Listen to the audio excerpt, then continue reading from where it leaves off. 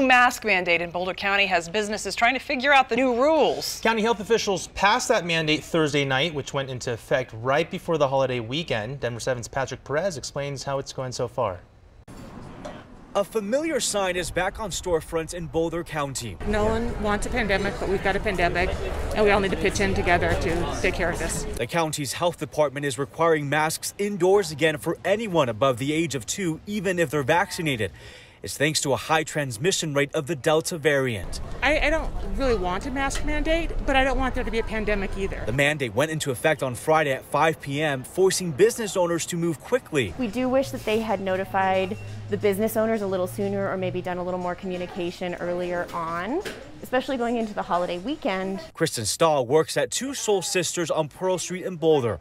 She says its employees, all of whom are vaccinated, wore masks even before the mandate. But now they have to ask customers to put one on too. It does put a little bit of a burden on us, definitely, because it's hard when there's not as much like clear signage or there haven't been as many public announcements. Their interactions have been positive so far this Labor Day weekend, and Kristen hopes they stay that way. I think if people approach this as a way to keep the community alive, that's a good way to think about it. But there is an exception to the mandate for some businesses like Condition Fitness. It requires that you walk in with vaccination proof instead of one of these. As of Friday, Boulder County Public Health began allowing the fitness studio to operate as a fully vaccinated facility. That means everyone, including clients, must be vaccinated.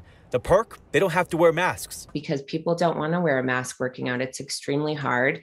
And we have really rigorous classes. And so my decision had to be in that day and i found out there was an exception you could apply for. The vaccination proof requirement is similar to one she put in place at the beginning of august. For her it was between this or possibly losing clients. There will be some more bumps in the road i'm sure so i'm just bracing myself for what those could be. And after a roller coaster of a year and a half these business owners will do whatever it takes to remain open and successful. That's all we want to do is just keep things open and going. In boulder patrick perez Denver 7.